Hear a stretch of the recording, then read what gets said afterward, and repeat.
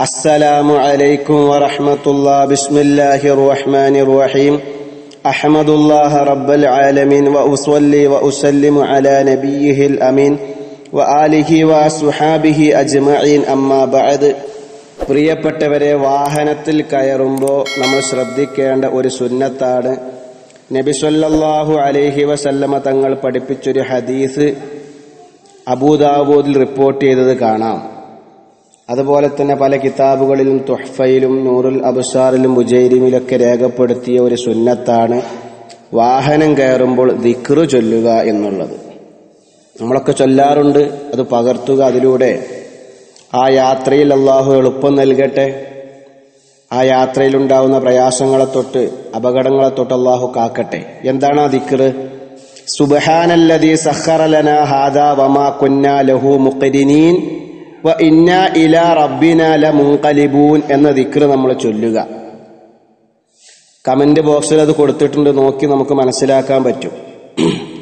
എന്താണ് ദിക്ർ സുബഹാനല്ലതി സഹറലന ഹാദാ വമാ കുന്ന ലഹു മുഖരിനീൻ. വ ഇന്ന ഇലാ റബ്ബിന ലമുൻഖലിബൂൻ അർത്ഥം ഞങ്ങൾക്ക് വേണ്ടി ഈ വാഹനത്തെ സൗകര്യപ്പെടുത്തിയ അള്ളാഹു എത്ര പരിശുദ്ധനാണ്. തീർച്ചയായും ഞങ്ങളുടെയൊക്കെ മടക്കം പടച്ച റബ്ബെ നിന്നിലേക്ക് തന്നെയാകുന്നു.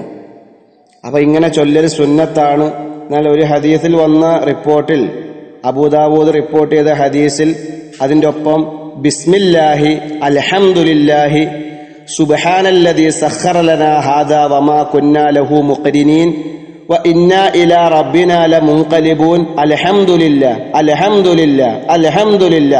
എന്നുകൂടി പറയൽ സുന്നത്തുണ്ട്.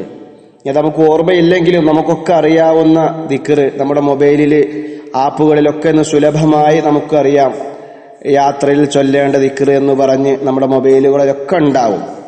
അപ്പൊ അത് ചൊല്ലുക.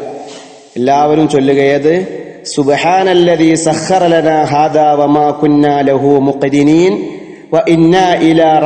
ലമുൻഖലിബൂൻ എന്ന് ചൊല്ലി നോക്കാം. ഒന്ന് ചൊല്ലി.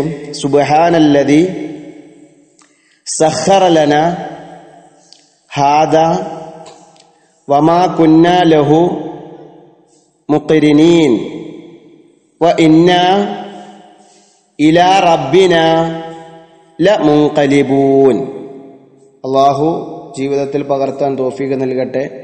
കൂടുതൽ വിവരണം ഇബാറത്തുകളൊക്കെ തെളിവുകളൊക്കെ കമന്റ് ബോക്സുകളിലുണ്ട്. തുഹ്ഫ മുജൈരിമി അബുദാബുദിന്റെ ഹദീസൊക്കെയാണ് അവലംബം. ദുആ വസിയത്തോടെ. അസ്സലാമു അലൈക്കും വറഹ്മത്തുള്ളാഹി.